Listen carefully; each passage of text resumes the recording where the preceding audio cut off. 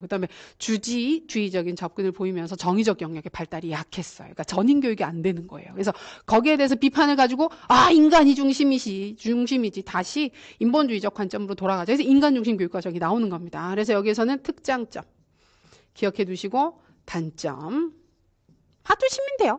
여기는 그 정도 세부 유형이 없기 때문에 특장점 그 다음에 단점 중심으로 특성들 봐두시면 무리가 없을 것입니다.